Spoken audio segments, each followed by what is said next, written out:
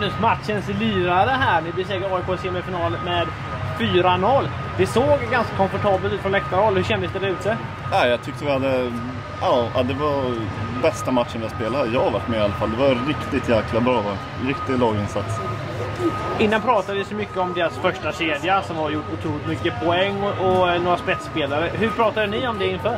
Ja, det är väl självklart att vi pratade om dem, men vi, det var inte så att vi ställde några killar mot dem, utan vi rullade på och mötte på dem.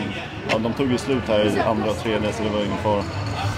När började du och ni känna att det här faktiskt kan gå vägen?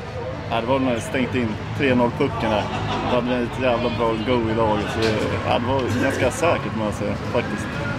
En tränare kan Abbott stå och applåderade konstant i båset. Eh, känns som. Vad, vad snackade ni om i pauserna och i båset? Ja, men det är väl bara att hålla uppe fokus, att liksom inte fladdra bort och tro att man är bäst i världen bara för att man har gjort två bra perioder eller en. Liksom. Så hålla oss på jorden och ja, arbeta hårt. Din säsong har ju varit eh, ganska händelserik. Eh, och nu står du här inför en eh, SM-final. Hur, hur, känner du själv inför det? Nej, skitkul.